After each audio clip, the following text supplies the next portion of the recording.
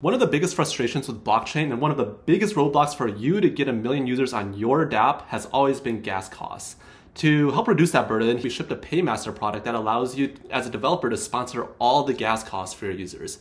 This means your users won't need to worry about having Ethereum in their wallet to pay for gas. They can put all of their focus on using your dApp. In fact, he will literally give you gas credits, which you can use to pay for your users' gas. I'm at the Coinbase Developer Platform portal. If you don't have an account, go ahead and create one. It takes less than two minutes. Coinbase Developer Platform has a bunch of offerings, but today we're primarily focused on on-chain tools and Paymaster. So on the Paymaster landing page, we went ahead and created this checklist for you to go ahead and get started. What I'll actually go ahead and do is have two screens up, one with the checklist and one where I'm actually going ahead and just doing the demo of this product. So here I have the checklist on one page and the configurations and everything else on another page. So the first step is to go ahead and try it out on a playground.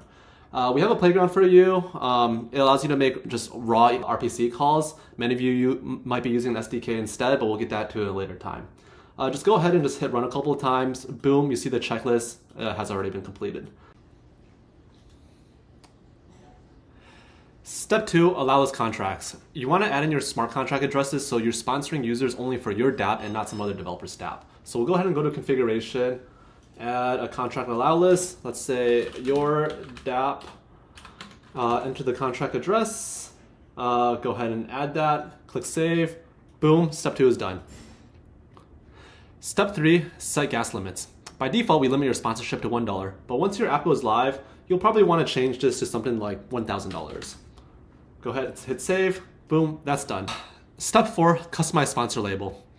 If you've ever used Coinbase Smart Wallet, you'll notice that all USDC sends are sponsored by Coinbase.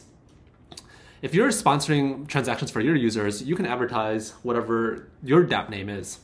So instead, I'll go here, go to customization, and sponsored by your dApp name. Save. Step five, add a payment method. I've already added a payment method to my account, but if you haven't already, go ahead and add a credit card and you'll get $500 in additional gas credits. Step six, send your first transaction. We have an awesome set of docs here that allows you to onboard and send an actual sponsored transaction rather than just use a playground. I already went ahead and followed this guide, coded it up. It's incredibly simple. Literally three files. The only file that really matters is 85 lines of code. I'm gonna go ahead and run this real fast uh, wait maybe like a second or two.